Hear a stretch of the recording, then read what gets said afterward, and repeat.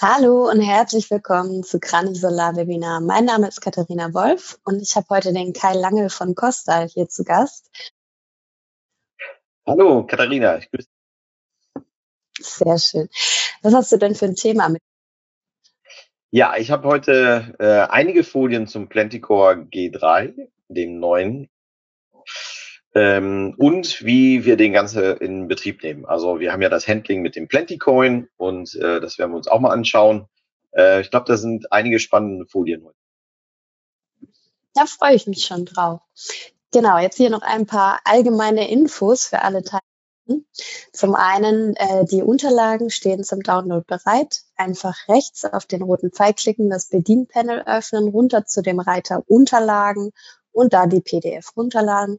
Wir schicken sie im Nachgang nicht zu, also bitte darauf achten. Ich werde am Ende nochmal darauf hinweisen und Genau, was Fragen angeht, gerne die Fragen ähm, stellen im Fragenfenster oder in den Chat.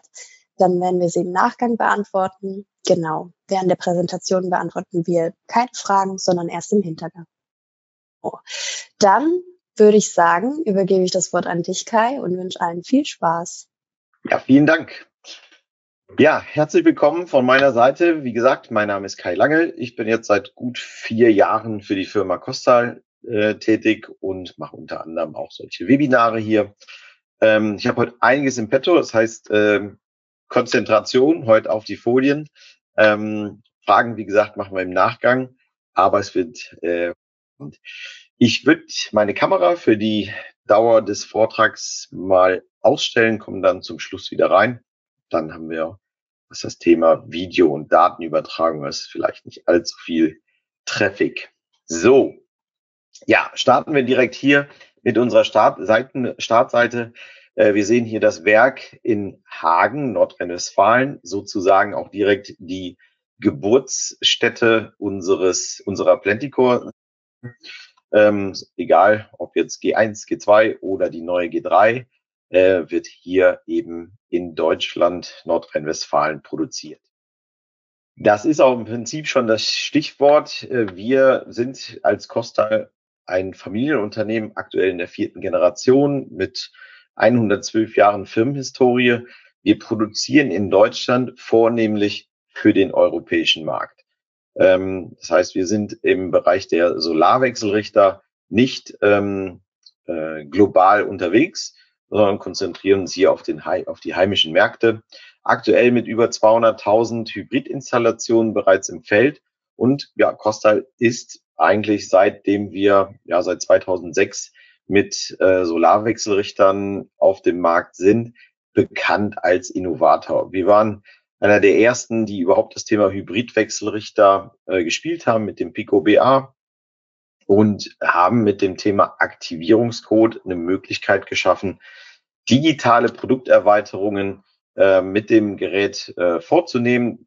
Was das für Vorteile mit sich bringt, schauen wir uns natürlich nachher nochmal an. Denn ich glaube, der Plenticore ist das am flexibelsten einzusetzende Gerät. Ähm, ja, wir sind Teil einer Gruppe, auch zum Beispiel durch die Automobilelektrik insbesondere natürlich groß geworden. Hier heute schon mit über drei Millionen Onboard-Chargern, also das Teil, was zum Beispiel im Elektroauto oder im Plug-in-Hybriden äh, dafür zuständig ist, dass die Hochvolt-Batterie, Fahrzeugbatterie dann auch geladen werden kann. Ähm, will aber nicht zu viel über Firmenvorstellungen hier verlieren. Gucken wir uns direkt mal hier gerade unser schlankes Portfolio an. Wir haben mit sehr wenigen Geräten ein sehr breites und großes Anwendungsgebiet. Das heißt, wir fangen äh, links hier mit dem ähm, Pico MP Plus im dreiphasigen, äh, im einphasigen Bereich an und äh, runden das Portfolio aktuell bis zum Pico CI 100 äh, nach oben hin ab. Ähm, ja, konzentrieren uns aber heute im, vornehmlich hier auf den Plenticore in der dritten Generation. Ähm, bevor wir allerdings auf das Produkt direkt eingehen, ein paar Worte zu unserem neuen Costal Solar Terminal. Denn das Solar Terminal ist die zentrale Einstiegsplattform in die digitale Costal-Welt.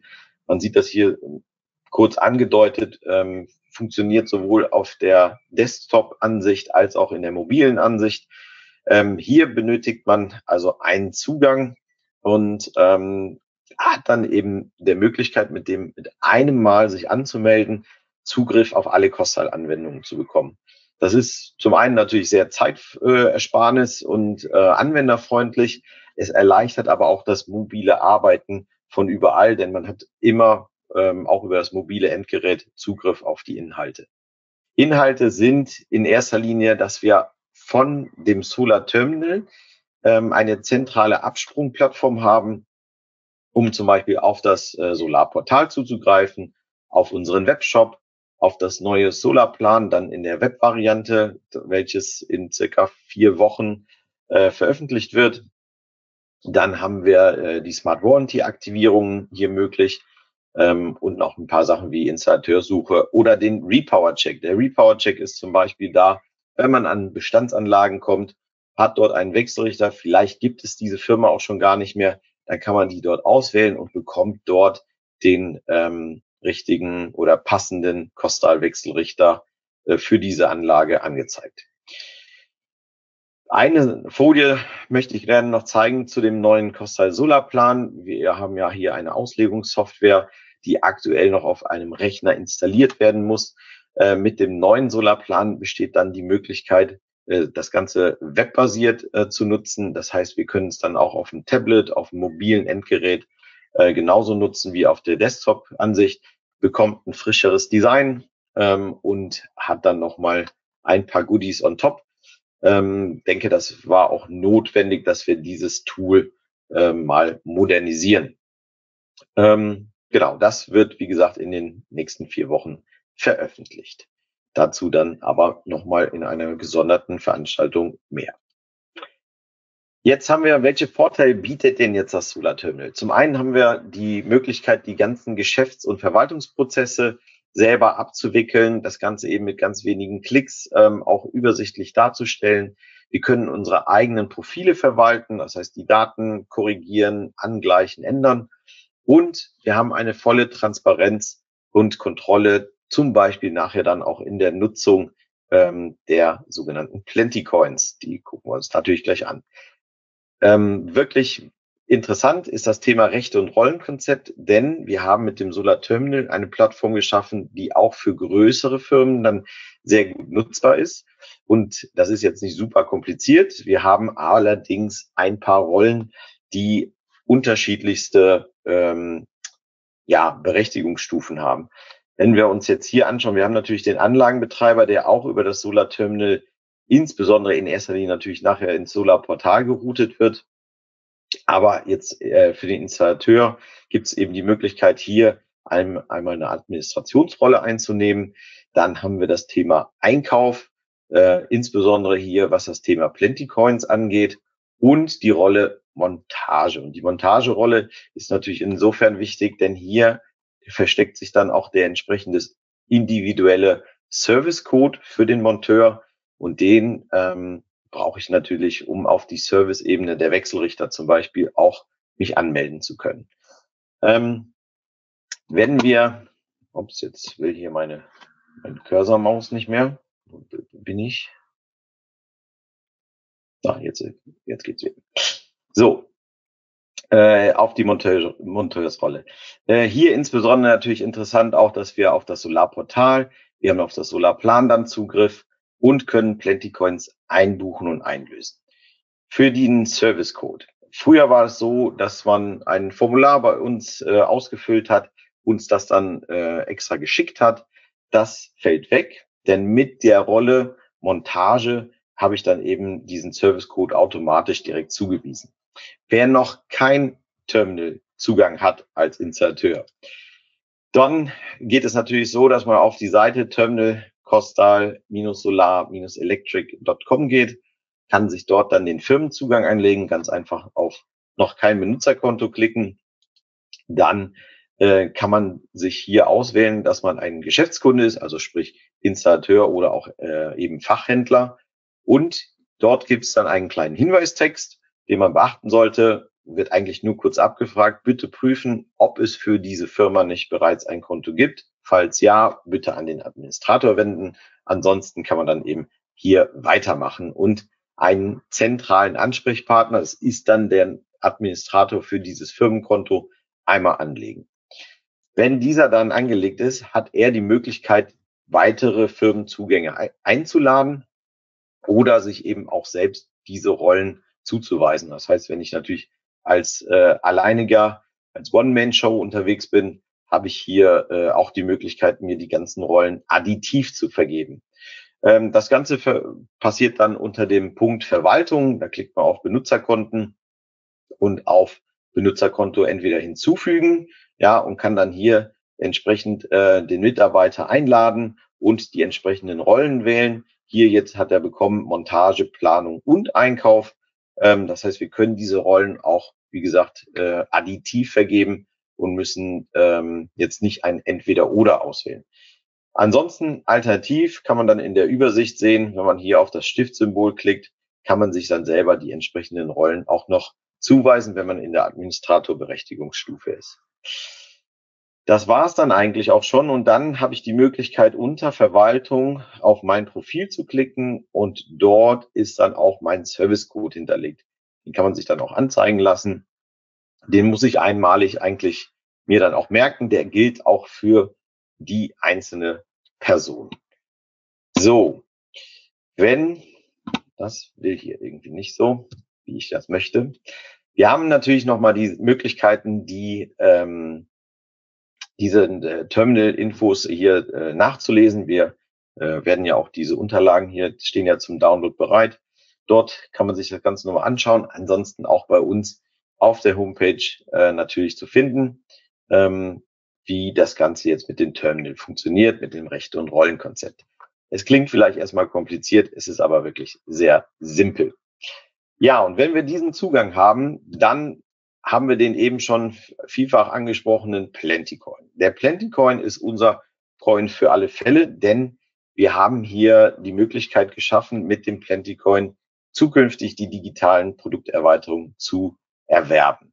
Ein paar Hinweise für die Nutzung des Plenty Coins oder Voraussetzung ist, dass man ein gewerbliches Firmenkonto im Solar Terminal hat, dass dieses Nutzerkonto eben auch für den Erwerb von Plenty Coins berechtigt ist, also entsprechend dann auch die Rolle Einkauf vorhanden ist. Und wichtig, die Plenty Coins sind nicht einlösbar natürlich für Privatanwender. Ähm, das ist ähm, Hoheit des Installateurs der die entsprechenden Produkterweiterungen dann auch vornehmen kann. Denn zum Beispiel im Falle einer Batterieaktivierung muss ja dann auch im Nachgang der Netzbetreiber informiert werden und diesen Anmeldevorgang äh, dann eben auch durchzuführen. So, den Plenty Coin. Wie kann man ihn jetzt beziehen? Wir haben drei Möglichkeiten. Äh, es gibt ihn als Karte, es gibt ihn auch in einer digitalen Version und die Möglichkeit, sich den Plenty Coin auch im Sofortkauf direkt im Webshop ähm, zu beziehen. Was machen wir denn jetzt eigentlich damit? Naja, die Aktivierungscodes, äh, die man dann nach, äh, in das Gerät eingeben kann, um diese digitalen Produkterweiterungen zu aktivieren, können über diesen Plenty Coin bezogen werden. Wir haben da zum Beispiel das Leistungsupgrade für die Plentycore G3 Serie. Das gucken wir uns natürlich nachher noch mal ein bisschen genauer an. Dann haben wir das Thema Komfortfunktion. Das heißt, wir können aus einer reinen Basis-Wallbox 11 kW ja auch eine intelligente Wallbox machen, die dann auch über das Thema ähm, solare Ladefunktionen zum Beispiel verfügt. Das Ganze, wer das möchte, kann das eben entsprechend über diese Komfortfunktion aktivieren. Ja, und dann besteht die Möglichkeit, den Plentycore auch mit einer Batteriefunktion zu aktivieren. Das heißt, äh, wir machen aus einem reinen Solarwechselrichter einen Hybridwechselrichter. Das sind dann drei dieser Plenty Coins. Die Karte als Hinweis gibt es in drei verschiedenen ähm, gibt es in drei verschiedenen Ländervarianten. Das hat in erster Linie steuerrechtliche Gründe. Wer seinen Sitz in Deutschland hat, der benötigt natürlich auch nur die deutsche Karte. Ansonsten zum Beispiel die Installateure, die uns zugeschaltet sind, zum Beispiel aus Österreich, die nehmen die EU-Variante und aus der Schweiz haben wir noch eine Non-EU-Variante. Ähm, genau. Die Karten werden so in einer Art Schuhkarton von uns äh, an die Großhändler ausgeliefert. Die haben aber auch die Möglichkeit, dann einzelne Karten dann dort herauszunehmen. Hinter dieser Karte ähm, versteckt sich dann dieser QR-Code und dieser QR-Code kann dann ganz einfach mittels der Solar App eingescannt werden und somit die Plenty Coins dem Firmenkonto auch hinzugefügt werden. In einer digitalen Variante wird es den äh, Plentycoin zukünftig auch geben. Auch hier ist der Bezug über den Großhandel. Dort dann allerdings mindestens zehn Stück, ähm, die dann entsprechend äh, zugebucht werden. Hier habe ich mal zur weiteren Erklärung ganz kurz mal den Prozess aufgezeigt. Das der heißt, der Installateur ist in der Lage, beim Großhandel Plentycoins zu bestellen, unter Angabe seiner Kostei-Kundennummer ähm, und eben diesen E-Mail äh, mit dem Nutzerkonto, mit dieser Berechtigungsstufe für den Einkauf.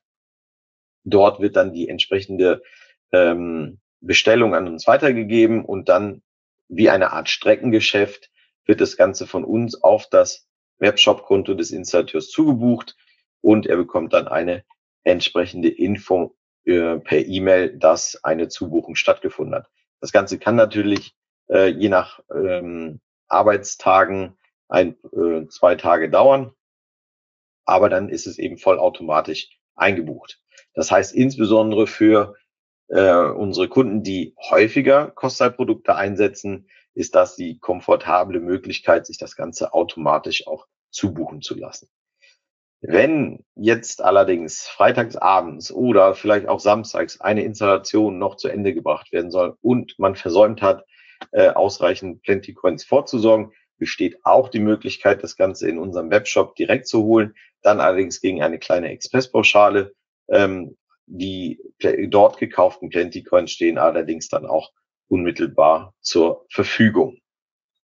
Der Prozess sieht dann also so aus. Wir haben uns jetzt gerade mal angeschaut, wie kann man jetzt den Plenty Coins beziehen. Das ist sicherlich jetzt gerade hier der Schnelldurchlauf, aber dass man es einmal gesehen hat, wir können dann diese Plenty Coins im Rahmen des Solar Webshops einbuchen und dort gegen Aktivierungscodes einlösen. Diese Aktivierungscodes werden dann in das Gerät wie gehabt gebracht, entweder über den Webserver, das Gerätedisplay oder dann eben über die App. Ja. Ähm, zusammengefasst, also Plentycoin und digitaler Plentycoin, also Plentycoin als Karte und digitaler Plentycoin werden über den Großhandel erworben entweder in Einzelstückzahlen bei der Karte oder mindestens zehn in der digitalen Version. Eingebucht wird das Ganze dann hier manuell oder eben automatisch. Ja, und eben für den Notfall noch die Möglichkeit, das auch im Sofortkauf zu beziehen. Was haben wir jetzt für Vorteile damit? Na, wir werden gleich sehen, dass wir mit drei Produkten 27 Anwendungsfälle damit äh, gestalten können. Dadurch eben eine deutliche Reduzierung an Hardware-Varianten, was auch das Thema äh, Lagerhaltung natürlich äh, sowohl im Handel als auch beim Installateur deutlich vereinfacht. Wir haben viel weniger Transportemissionen, weil wir nicht irgendwie für jede Variante und Leistungsklasse äh, eine entsprechende Palette bereitstellen müssen, sondern wir können das alles auf einer Palette transportieren und auch einlagern. Der Schulungsaufwand ist deutlich geringer, denn egal, ob das Gerät jetzt als reiner Solarwechselrichter oder vielleicht ähm, als ähm, Hybridwechselrichter installiert werden soll, die, der Aufwand ist immer der gleiche und das Prozedere ist immer das gleiche.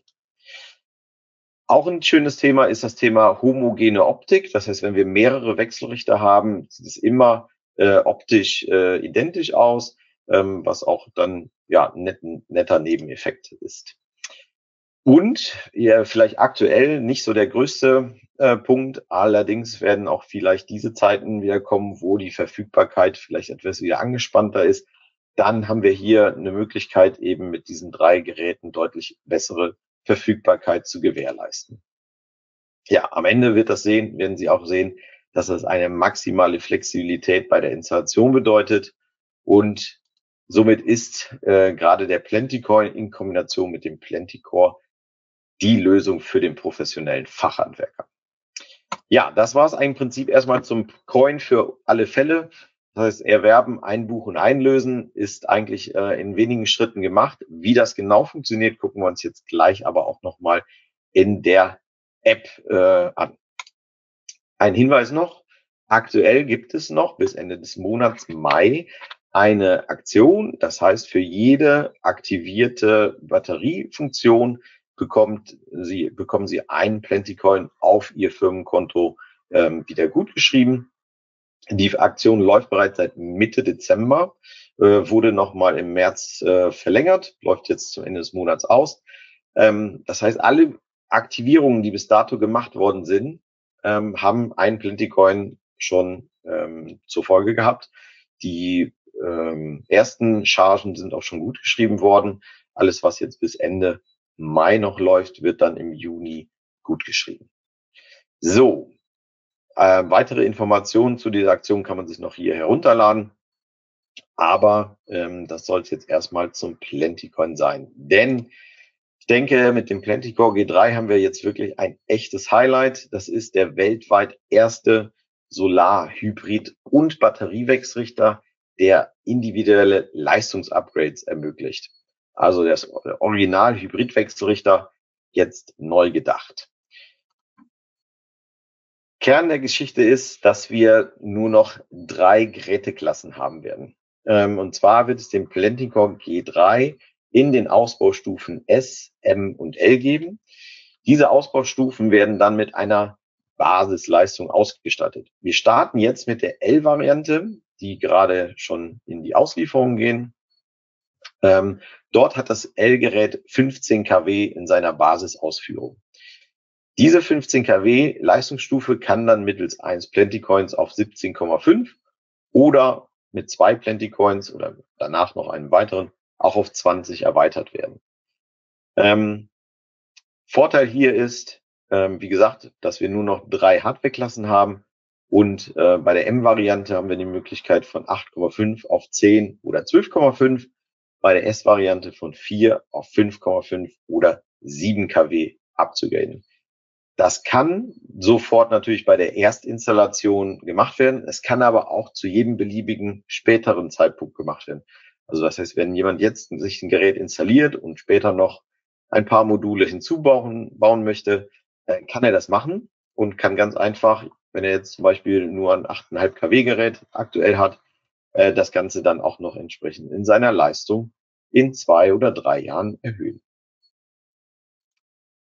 Das ist dann sozusagen das Ergebnis aus dieser Matrix. Ähm, wir haben dann den Solarwix-Richter in neun Leistungsklassen mit vollen drei MPP nutzbar. Wenn wir die Batteriefunktion hinzufügen, dann ähm, haben wir einen MPP-Tracker, den wir für die Batteriefunktion nutzen. Das heißt, das Gerät hat dann noch über zwei MPP-Tracker, auch neun Leistungsstufen. Und äh, der Plenticore G3 kann auch als reiner Batteriewechselrichter äh, betrieben werden, so dass wir hier auch noch für AC gekoppelte Lösungen eine Möglichkeit bieten, im Gewerbebereich oder für die Nachrüstung hier ähm, eine, ja, einen leistungsfähigen Wechselrichter zur Verfügung zu stellen. Damit haben wir also im Prinzip einmal die reine Basisfunktion des Plenticore G3 gesehen.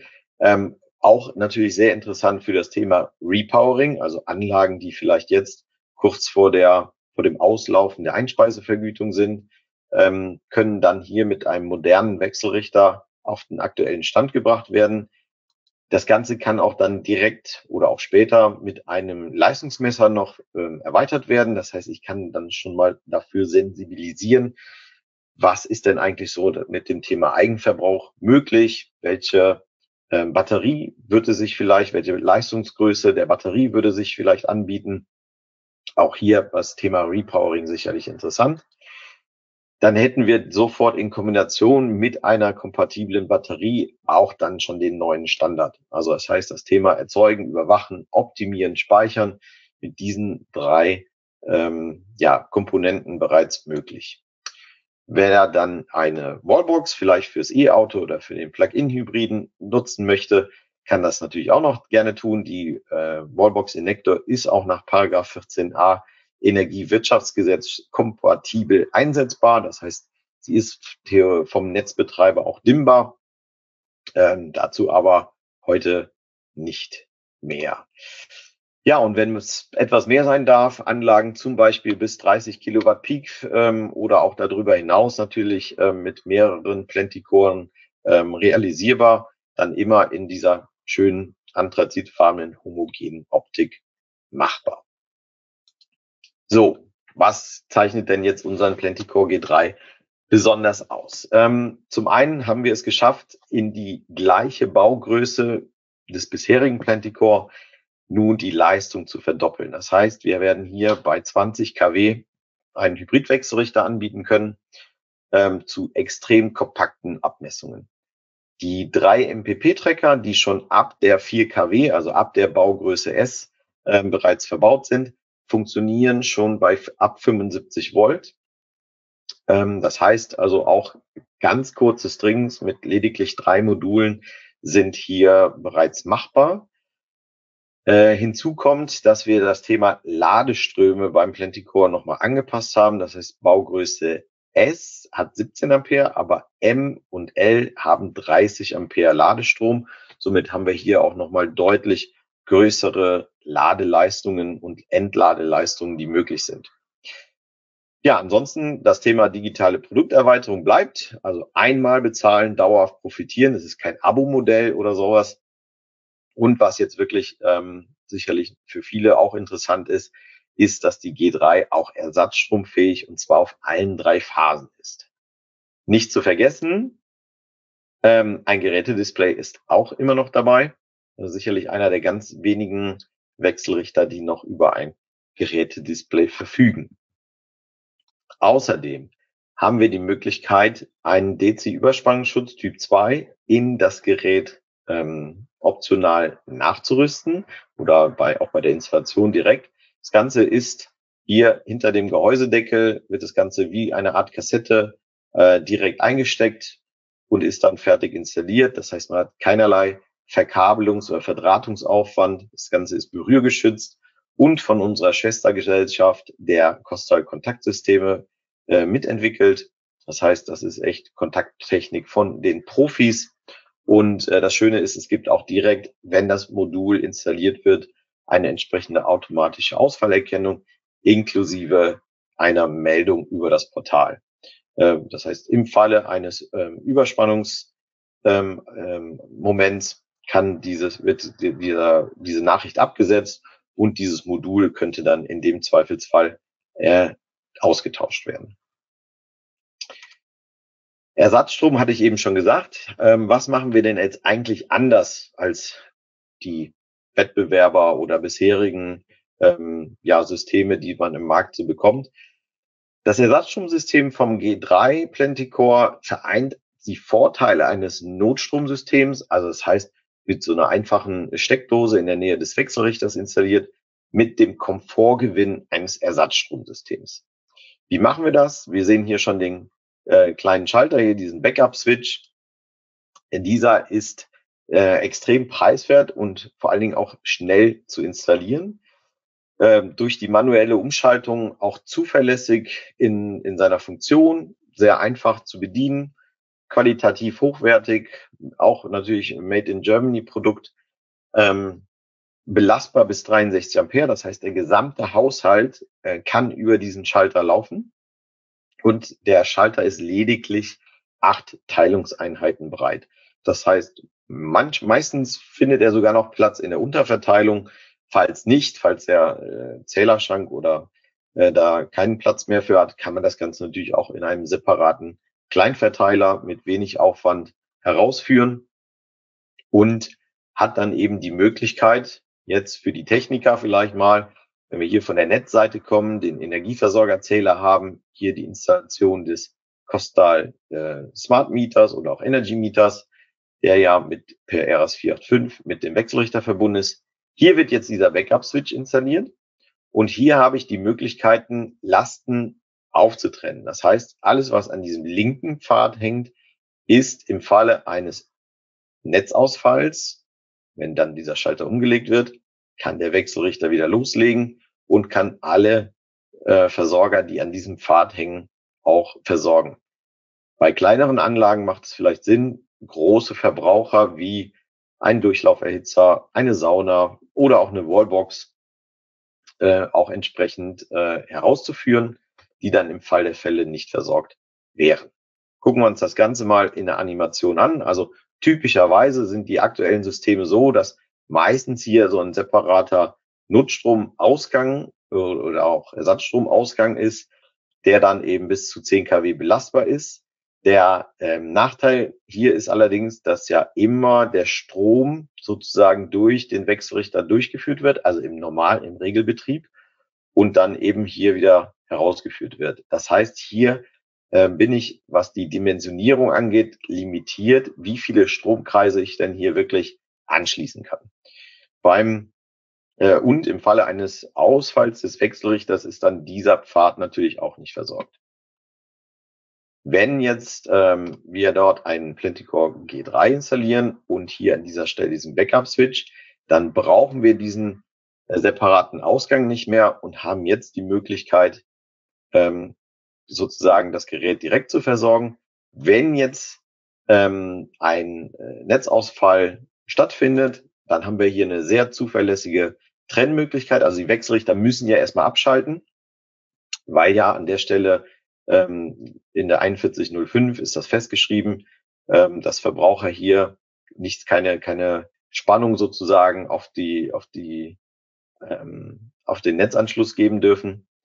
So, und dann wird dieser Schalter umgelegt. Äh, der Wechselrichter bekommt entsprechend das Signal von dem Wechselrichter, äh, von dem, von dem Schalter, dass er hier die äh, Trennung vollzogen ist. Und dann kann der Wechselrichter hier wieder anfangen zu arbeiten, kann die Batterie laden und kann alle Versorger, die an diesem Verbrauch hier hängen, versorgen. Ein großer Wechselrichter, sprich jetzt zum Beispiel die 20 kW Variante, könnte mit Sicherheit das gesamte Haus versorgen mit einer entsprechend dimensionierten PV plus Batterie. Und der Vorteil ist, dass jede Steckdose, jeder Lichtschalter, aber auch so Antriebe wie Rollladenmotoren oder Torantriebe dann auch direkt funktionieren, ohne dass das Ganze umständlich neu verdrahtet werden muss. Somit eben bei der Installation extrem einfach zu machen. Und man muss uns ja nichts vormachen. So häufig kommt ja so ein Netzausfall nicht vor. Somit haben wir hier eine sehr kostengünstige Möglichkeit äh, geschaffen, im Fall der Fälle, ähm, ich sage jetzt nochmal, operabel zu bleiben. Ja, außerdem besteht, wie gesagt, eben schon in einem anderen Schaubild die Möglichkeit, hier die, ähm, die Aufteilung vorzunehmen wenn die Anlage was kleiner ist, ähm, hatten wir eben schon in dem anderen Bild gesehen, das ist die Option. Ansonsten, ich weiß ja, dass ich dann in einem Ersatzstrommodus mich befinde und kann dann auch mein Verhalten entsprechend etwas anpassen. Also vielleicht nicht den Gänsebraten in, im Ofen weiter äh, kochen lassen. Ähm, genau. Wie leistungsfähig jetzt sowas ist, ist natürlich sehr abhängig ähm, von der Dimensionierung der Komponenten. Ich habe jetzt mal hier herausgehoben, was jetzt maximal zum Beispiel möglich ist, wenn wir uns ein Plenticore L-Gerät oder auch das M-Gerät nehmen, die 30 Ampere ähm, Ladestrom verfügen, dann haben wir hier zum Beispiel mit der BYD HVS Batterie die Möglichkeit, maximal 12,8 Kilowatt Ladeleistung oder Entladeleistung zu re realisieren. Wenn wir in den HVM-Bereich dann schauen, äh, sieht es hier, da ist immer ja die Batteriespannung mal den, mal den Ladestrom, ergibt dann die Leistung. Das heißt, bei der 12, 22.1 werden auch 12,2 ähm, kW Ladeleistung oder Entladeleistung möglich. Ähm, bei den entsprechenden kleineren Geräten S ist das Ganze dann maximal auf 7 kW limitiert, weil 7 kW ist die höchste Ausbaustufe und ähm, somit hat man hier dann entsprechend die Möglichkeit ähm, ja geschaffen, auch bei den kleineren Geräten ausreichend Ladeleistung zu realisieren. Im Notstromfall äh, ist es folgendermaßen, dass egal ob jetzt welche Leistungsklasse freigeschaltet ist, im Notstromfall würde das S-Gerät bis zu 7 kW äh, Leistung zur Verfügung stellen. Ein Drittel davon pro Phase. Ja, also das ist die maximale Phasenbelastung, sind die, ist die äh, Schieflast von 2,33 kW. Bei der M-Variante sind es dann die 4,16 und bei der L-Variante sind es sogar 6,66 kW pro Phase, die das Gerät dann zur Verfügung stellen kann. Also ein extrem performantes Gerät an der Stelle. Um, das ist jetzt hier das Beispiel mit der BYD-Batterie. Wir sind ja mit einer Vielzahl an Batterien kompatibel. Dort gibt es nochmal ein entsprechendes äh, Dokumentationsblatt, äh, technische Spezifikation mit Batterien. Und dort kann man dann nochmal die Leistungen, die möglich sind, für jede Batterie sich eben entsprechend auch anschauen. Das Ganze auch hier nochmal im Download mit verlinkt. Denn ähm, es gibt eine sehr große Auswahl, dass man flexibel und unabhängig bleibt bei der Installation. Das heißt, neben der eben gezeigten BYD-Batterie, die ja mit der HVM bis zu 22 Kilowattstunden möglich macht, drei von diesen Batterietürmen können dann auch parallel betrieben werden. Das heißt, wir haben hier 66 Kilowattstunden. Aber wir haben zum Beispiel mit Axitec und demnächst Vata auch äh, deutsche Firmen äh, kompatibel, die dann entsprechend auch ähm, den Support bieten können. Und wenn es eine sehr flexible Installation sein soll, bietet sich zum Beispiel das Flex-System von LG Energy Solutions an. Dort haben wir eben die Möglichkeit, das Ganze als Standgerät oder auch als ähm, Wandmontage zu realisieren. Also je nachdem, was vor Ort für Möglichkeiten bestehen. Ja, jetzt gucken wir uns natürlich nochmal an, ähm, wir hatten es eben schon mal gesagt, wie funktioniert denn das jetzt eigentlich mit unserer App, um diese ganzen Leistungsstufen und Batteriefunktionen auch zu aktivieren zu können, haben wir eine Möglichkeit geschaffen, innerhalb der ähm, Solar-App in einen Pro-Modus zu wechseln. Das heißt, das ist keine separate äh, Software, sondern man nutzt ganz normal die Costa Solar App und kann diese dort dann in den Pro-Modus wechseln. Zum Beispiel ist es hier nochmal angezeigt. Man klickt hier oben in der Android-Version auf das äh, Menü und kann dann hier auf Blau klicken und bekommt dann den blauen Pro-Modus. Das funktioniert jedoch nur, wenn ich mich auch als Installateur in der App angemeldet habe. Das sind die gleichen Zugangsdaten wie für das Terminal. Ja. Äh, wenn wir wissen, das ist ein Installateurskonto, dann steht eben diese Funktion zur Verfügung. Für Endverbraucher, die äh, haben hier nicht die Möglichkeit, in den Pro-Modus zu wechseln. Die ähm, nutzen die Solar-App in erster Linie zur Visualisierung äh, der Anlage, um das Ganze eben ähm, zu überwachen zu können. Wenn wir dann in diesem Pro-Modus sind, sehen wir hier vier Kacheln. Ja, ähm, einmal eben das Thema Plentycoin scannen und einzubuchen. Ähm, dann kann man diese dort eben auch einlösen unter dem Schritt zwei. Wir können diese Aktivierungscodes dann abrufen und in der App zwischenspeichern für die erste Inbetriebnahme zum Beispiel und auch hieraus den Setup Wizard starten. Das heißt, die Inbetriebnahme kann bei den Geräten natürlich durchs Display stattfinden oder ganz komfortabel dann eben über diesen Setup Wizard. Schritt eins gucken wir uns an. Also Plentycoin scannen und einbuchen. Ähm, relativ simpel. Bei der Erstnutzung wird dann gefragt, äh, dass man die Kameranutzung muss man dann einmal zulassen. Das ist ein Standardprozedere, um die Berechtigungen der App klarzumachen. Dann haben wir die Möglichkeit, die Kamera auf den QR-Code auszurichten. Also wir erinnern uns nochmal, wir öffnen hier beim Plentycoin bei der Karte das Türchen, haben hier drunter den Code und dieser Code kann dann eingescannt werden. Ähm, man hat hier die Möglichkeit, auch direkt mehrere Karten kurz hintereinander ähm, zu scannen. Die würden dann hier so untereinander aufgelistet werden. Und wenn man mit dem Scan-Vorgang fertig ist, klickt man dann hier auf Plenty Coins einbuchen. Mit OK wird dann die Anzahl einmal bestätigt und damit äh, kann man dann zurück zur Startseite und hat schon die Plenty Coins in sein Konto eingebucht. Also das geht ganz einfach. Im zweiten Schritt wenn ich dann entweder auf der Baustelle bin oder schon vorab ähm, die, die Aktivierungscodes beziehen möchte, äh, besteht die Möglichkeit hier auch über die, den zweiten Punkt dann die Kamera zu nutzen. Und dort kann ich einmal entweder das Typenschild vom Plenticore, wenn er schon an der Wand hängt, zum Beispiel installieren. Oder dieser QR-Code ist auch auf dem Karton bereits außen vorgegeben.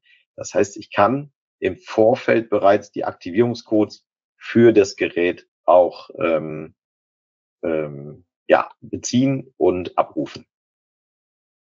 Ja, wenn man dann auf äh, entsprechend äh, gescannt hat und noch weiterklickt, er erkennt dann hier die entsprechende Seriennummer des Gerätes, wird das Ganze ähm, weitergegeben intern in die, in die Webshop-Oberfläche und ich kann dann sehen, welche Produktaktivierungen sind denn für dieses Gerät möglich. Also welche Leistungsupgrades kann ich machen. Man kann dann hier noch entsprechend herunterscrollen und kann die Batteriefunktion zum Beispiel auswählen. Alles das, was ich benötige, wird dann ausgewählt und man muss dann lediglich hier diese zwei Checkboxen natürlich ähm, aktivieren und äh, dort gibt es dann äh, entsprechenden Hinweis auf das Widerrufsrecht. Ähm, und das Ganze kann dann hier eingelöst werden. Das heißt, es wird gezeigt, für die Funktion werden jetzt zwei Plenty Coins benötigt und dementsprechend wird das dann vom Guthaben abgezogen. Wenn man das gemacht hat, wird noch hier, das ist noch, eine, noch aus einer Testanlage, Testsituation, stehen dann noch die entsprechenden verfügbaren Plenty Coins. Also wer 995 Plenty Coins mal im Guthaben hat, äh, Chapeau, der hat dann einiges vor, finde ich gut. Ähm, ansonsten ähm, scrollt man dann wieder hier hoch und kann das Ganze dann hier entsprechend ähm, sich nochmal kurz anschauen, dass das bestätigt worden ist und dann diese Erfolgsmeldung sozusagen schließen. Zurück geht's dann hier zur Startseite. Das heißt, wir haben jetzt sozusagen die Einbuchung vorgenommen. Jetzt müssen wir diese Aktivierungscodes ja nur noch abrufen. Und das funktioniert hier über den Schritt drei. Aktivierungscodes werden abgerufen, indem man hier draufklickt. Ähm, dort wird dann entsprechend angezeigt, das Abrufen ist äh, erfolgreich gewesen. Es kann natürlich sein, dass irgendwas auch fehlgeschlagen ist. Zum Beispiel, ich habe gerade keine äh, Internetverbindung. Ähm, oder es gibt überhaupt keine neuen Codes, die man abrufen kann. Wenn das dann stattgefunden hat, sind diese Codes sozusagen in der App auch schon hinterlegt. Und wenn wir jetzt zum Schritt vier übergehen und den Setup Wizard starten, dann ähm, bekommen wir hier eine entsprechende Meldung, dass wir uns natürlich wieder mit dem Gerät verbinden. Also G2 und G3 Geräte verfügen ja über eine WLAN-Funktion. Ähm, das heißt, wir können uns jetzt mit dem Gerät verbinden, äh, klicken da, dazu den QR-Code auf den Display ähm, einmal kurz an. Wir verbinden uns dann mit dem WLAN. Ähm, er sagt natürlich, es gibt jetzt hier die Warnung vor einem Verbindungsverlust. Den muss man einmal kurz akzeptieren, ähm, weil wir natürlich gegebenenfalls in einem vorher anderen WLAN vielleicht äh, verbunden waren. Dann wird hier mit dem Netzwerk des Wechselrichters sich einfach verbunden. Es gibt dann nochmal eine entsprechende ähm, Bestätigungsmeldung, dass man sich jetzt hier das mit dem WLAN des Wechselrichters verbunden hat und klickt dann eigentlich hier nur noch, also wir sind jetzt verbunden, klickt dann auf Einrichtung ähm, ähm, vorzunehmen. Hier sagt er noch die entsprechende Meldung, es ist noch nicht, äh, die, die Einrichtung ist noch nicht abgeschlossen, also wählen wir das Gerät aus. Damit er sich dann äh, auch mit der Service-Ebene verbinden kann, muss jetzt einmal der QR-Code auf dem Typenschild gescannt werden. Ähm, dann geht's damit weiter. Hier wird er dann entsprechend äh, einen Hinweis geben, dass das WLAN natürlich, welches mit dem Wechselrichter verbunden ist, keinen keinen Internetzugang hat. Das deswegen weiterhin wollen wir weiterhin mit WLAN verbunden bleiben. Und hier muss jetzt einmalig der eben gezeigte Service Code eingegeben werden. Wenn man das einmal gemacht hat, ist der Service Code auch in der App sozusagen hinterlegt. Das heißt, bei jeder weiteren Installation brauche ich den gar nicht mehr eingeben. Ja, aber das, der muss hier einmal eingegeben werden. Dann klickt man auf Weiter und dann wird er feststellen, es gibt, wird ein automatischer Geräteneustart, weil in der App äh, die Aktivierungscodes gefunden worden sind für dieses Gerät. Die werden dann einmal äh, installiert und äh, das Gerät startet dann entsprechend neu. Das dauert so circa fünf Minuten und dann kann man diesen Setup Wizard nochmal starten und äh, sich mit dem Gerät wieder verbinden, so dass man dann eben, ähm, ja, sobald das Gerätedisplay beim Wechselrichter wieder aktiv ist, kann man sich wieder verbinden und kann dann den eigentlichen Vorgang abschließen. Ja, also dieser Neustart findet natürlich nur statt, wenn ich Aktivierungscodes beziehe. Habe ich keine, dann würde der sofort weitermachen und dann kann ich entsprechend, ja, werde ich da äh, Schritt für Schritt durchgeleitet. Das Ganze dauert dann zwei, drei Minuten ähm, wenn überhaupt. Und äh, weitere Batteriefunktionen müssen dann ja nicht mehr eingegeben werden, weil in dem Fall er schon anzeigt, äh, nee, haben wir alles schon gemacht. Das Leistungsupgrade ist gerade schon durchgeführt. Die Batteriefunktion steht gerade. Also es gibt keine weiteren Aktivierungscodes.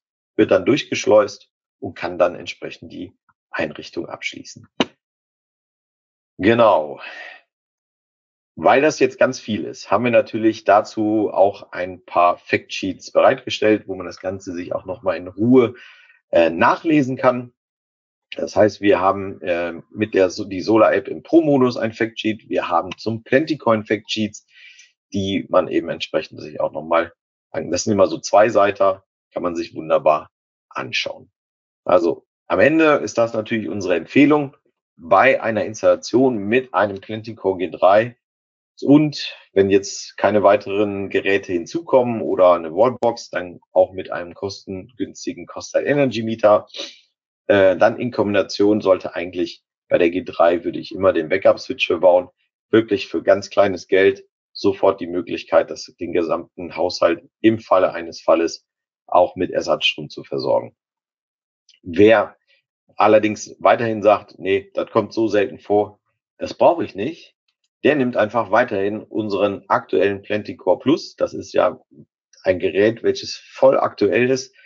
Ähm, das hat die gleich, das gleiche Kommunikationsboard, es hat die gleichen Funktionen, äh, lediglich das Thema Leistungsupgrade oder auch ähm, ähm, Ersatzstromfunktionen sind nicht mit dem Gerät möglich. Ansonsten die ganzen Komfortfunktionen, WLAN, zweifach LAN-Schnittstellen, vier digitale Ausgänge, all das hat dieses Gerät auch. Auch die Möglichkeit, einen externen Überspannungsschutz zu überwachen. Und man bekommt auch mit der G2 weiterhin ein top aktuelles Gerät. Wir haben es noch kürzlich unter äh, Beweis gestellt, dass es eines der äh, effizientesten Systeme am Markt ist. Ähm, wir haben zum siebten Mal in Folge bei der HTW, bei dem Effizienzleitfaden mitgemacht, ähm, sind dort ausgezeichnet worden mit AC-System, DC-System, einphasig und dreiphasig. Ähm, also wir scheuen da keinen Vergleich und ähm, man bekommt hier ein absolut aktuelles Gerät. Das Ganze auch hier nochmal als Factsheet, als äh, Versionsvergleich nochmal nachzulesen. Was kann denn das äh, Gerät, was kann das andere? Kann man sich hier auch gerne nochmal in Ruhe dann anschauen. Ähm, wie gesagt, ähm, sollte eigentlich für viele Fälle auch äh, ausreichend sein. Also es gibt jede Menge Informationen von uns, auch in Zukunft. Ich würde mich freuen, natürlich auch ähm, Sie bei uns auf dem Messestand auf der Intersolar jetzt im Juni zwischen dem 18., äh, zwischen dem 19.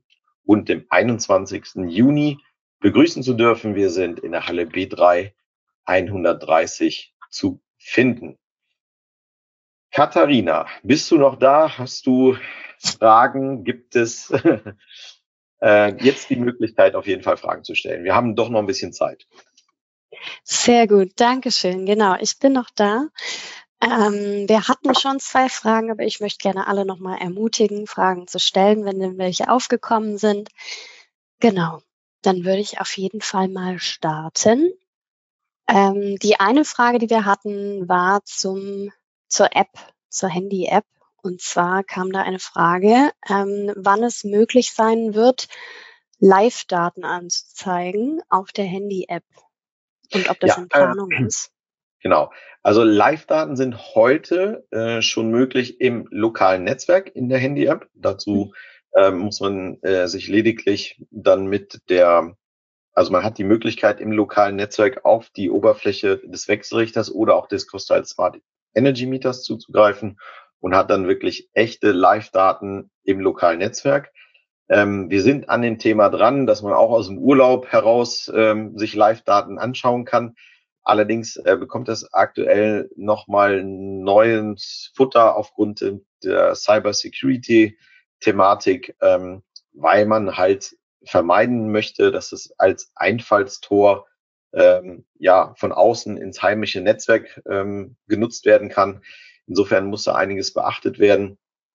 Ähm, wir sind an dem Thema dran, aber ähm, Live-Daten im Zuhause geht auf jeden Fall schon, auch jetzt in der App. Super, danke schön. Dann kam noch eine Frage zum Thema Ersatzstrom. ob im Ersatzstrom äh, eine vollwertige Drehstromversorgung möglich ist und ob es da eine Phasenverschiebung gibt. Ja, also er macht ein richtiges äh, Drehstromnetz. Ähm, also es ist nicht dreimal eine Phase, sondern äh, Drehstromverbraucher kann der Wechselrichter dann auch versorgen. Also eine theoretisch eine Wärmepumpe, die dreiphasig angeschlossen ist, würde auch funktionieren. Okay, jetzt kam gerade eben noch eine Frage rein. Kann der G3 auch die Erzeugung von anderen Kostal-Wechselrichtern die Batterie mit aufladen? Ja, das ist ein Punkt, der wird am Anfang auf jeden Fall noch nicht gehen. Ähm, Hintergrund ist, ähm, der Wechselrichter würde, wird im Ersatzstromfall ein ähm, von der Frequenz her ein etwas, ich glaube, 51 oder 52 Hertznetz aufbauen. Das ist dann außerhalb der ähm, Toleranz wie ein normaler äh, Photovoltaikwechselrichter zuschalten würde. Das heißt, wir bräuchten jetzt hier nochmal auch eine kommunikative Kopplung und es ist regelungstechnisch doch nochmal eine Herausforderung mit ja, schwankender Erzeugung, schwankenden Verbraucherleistungen, da ein stabiles Netz aufzubauen. Äh, deswegen im ersten Step äh, wird es erstmal dabei bleiben, dass wir den nur mit einem Wechselrichter ein Ersatzstromnetz aufbauen. Ähm, vielleicht noch ein Hinweis. Äh, kommen ja auch immer die Ideen, ja, kann ich denn damit jetzt auch meine, meine Berghütte äh, betreiben oder mein, mein, auf meiner Insel ein Inselnetz äh, bauen? Also er baut ja im Prinzip ein Inselnetz auf, das ist richtig. Allerdings ist er natürlich nicht dafür ausgelegt, das dauerhaft zu machen. Das heißt, ähm, wir haben hier eine äh, Begrenzung der, der Zeit, was wir in der Garantie abbilden können, äh, von 5000 Stunden. Also 5000 Stunden kann das Gerät im Ersatzstromfall ähm, betrieben werden. Das sollte in den allermeisten Fällen mehr als genug sein. Dankeschön. So, es kamen noch zwei Fragen rein. Ähm, wann ist es möglich, eine Kaskaderschaltung, zweimal Wechselrichter und zweimal Batterie zu realisieren? Ja, auch dieses Thema ist ähm, weiterhin auf der Roadmap. Ähm, auch hier ist es regelungstechnisch äh, schon eine Herausforderung. Ähm, wir haben uns jetzt erstmal darauf konzentriert, die G3 fertig zu machen und äh, in den Markt zu bringen. Und dann werden wir uns dieses Thema auch nochmal, ähm, diesem Thema nochmal annehmen. Aktuell ähm, bleibt es dabei, eine, also wenn wir mehrere Batterien verbauen wollen, dann würde das zum Beispiel bei der BYD-Batterie funktionieren, wo man dann gleich große äh, Batterietürme parallel betreiben kann. Ähm, Genau, und aufgrund der höheren Ladeleistung jetzt ähm, damit dann eben auch nochmal etwas Druck da vom Kessel genommen haben. Bei der G2 waren wir bei 13 Ampere, jetzt sind wir bei 30 Ampere ähm, und da haben wir auch bei größeren Batterien ausreichend hohe Ladeleistungen. Dankeschön. Ähm, hier kam noch eine Frage rein. Lassen sich die G2 und die G3-Version kombinieren? Ähm, die lassen sich kombinieren, genau. Ähm, funktionieren beide parallel. Ähm, der, wie gesagt, G3 kann dann das Ersatzstromnetz aufbauen. Der G2 würde in dem Fall dann eben nicht zuschalten, aber ansonsten funktionieren die, äh, sind die vollkommen kompatibel zueinander. Ist auch das gleiche Kommunikationsboard. Auch von der Oberfläche her wird man sehr große ähm, Parallelen feststellen. Dankeschön. So, dann kam noch eine Frage für mich. Äh, ich hoffe, das ist für mich. Ähm, können wir das Schulungsvideo bekommen? Ich denke mal, das bezieht sich jetzt auf das Webinar. Das Webinar wurde jetzt aufgezeichnet und wird in nächster Zeit ähm, auf YouTube, auf dem Kranich Academy Kanal online kommen. Das heißt, da kann man das dann nochmal nachschauen und dann vielleicht auch nochmal durchskippen bei den ähm, genaueren Details. Genau, an der Stelle möchte ich nochmal darauf hinweisen, bitte die Unterlagen, also die jetzige Präsentation herunterzuladen. Ähm, das geht, wenn man auf den roten Pfeil rechts klickt, das Bedienpanel öffnet und dann unter der Rubrik Unterlagen einfach mal ähm, die PDF runterlädt. Genau.